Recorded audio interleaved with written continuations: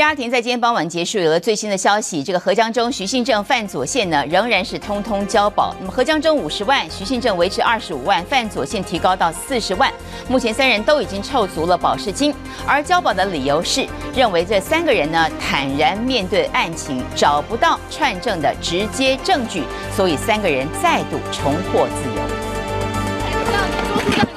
抱在一起在洗是在祷告吗？何江中妻子听完最新裁定结果，三人全部交保，稍微松了一口气。前一分钟在庭上，他双手合十，努力祈祷能够换来好消息。听到结果后，匆匆步出法庭，立刻在绷紧神经，因为交保金还没有着落。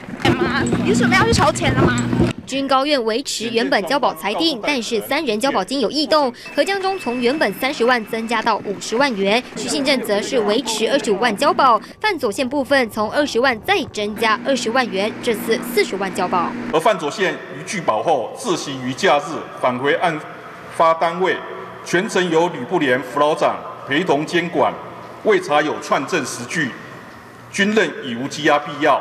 找不到串证的实际证据，让三人再度逃过羁押命运。但军高院特别声明，范左宪等人不准进入五四两旅。也很开心，就是合议庭能针对这个羁押的原因跟羁押的必要性，详细的去审酌之后，认为还是没有必要，然后给予他交保的机会。我现在认为是羁押是比较合理。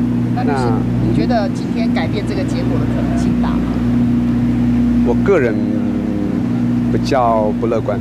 洪家律师全程参与羁押庭，但还没裁定之前就已经先料到结果。果真现在让三人或两度交保，军检也将在五天内再次提起抗告。中新闻台北桃园综合报道。